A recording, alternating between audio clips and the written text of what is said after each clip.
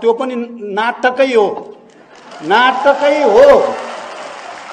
नाटकै हो। त्यो नौटङ्की हो। नौटङ्की नै हो यो।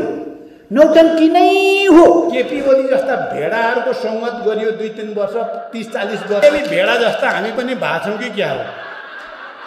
कोही केपी ओली जस्तो भेडासँग सङ्गत गरेर पनि के भयो के भयो आफ्नो त बुवासाको मतिक जाँदै के के भने त्यो चाहिँ बुझिनँ मैले। भन्दै थिएँ यस्तै कुरा। मलाई भेडो भनेकोमा आनन्दै लाग्यो। यो अलिकति लाज घिन भन्ने त मान्छेमा हुनपर्छ क्या। अलिअलि लाज पनि त अलिकति नैतिक भन्ने त हुनपर्छ नि। गोरु नाङ्गो देख्दा मलाई लाज लाग्दैन।